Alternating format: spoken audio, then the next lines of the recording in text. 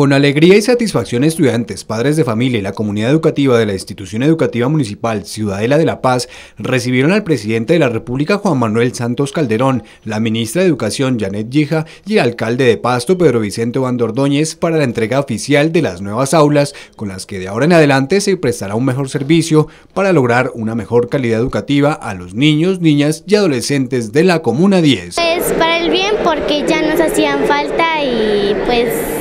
es mejor para la institución. Eh, que muchas gracias por inaugurar estas aulas. Gracias por todo el trabajo que han realizado, porque esto es una gran